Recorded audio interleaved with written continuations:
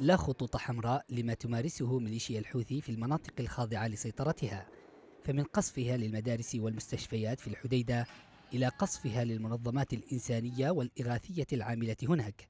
في تفاصيل الأحداث قصفت الميليشيا موقع منظمة الصليب الأحمر الدولي الواقع في منطقة غليفقة غربية مديرية الدريهمي جنوب الحديدة بأكثر من عشرين قذيفة. قصف لم يؤدي إلى حدوث خسائر بشرية وفق مصادر محلية. لكنه تسبب بوقوع أضرار في مرافق المبنى وترويع الموظفين العاملين هناك.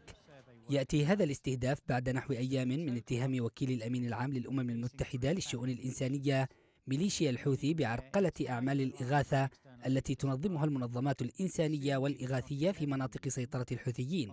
اتهام لوكوك للميليشيا أكده تقرير نشرته وكالة أسوشيتد بريس الأمريكية.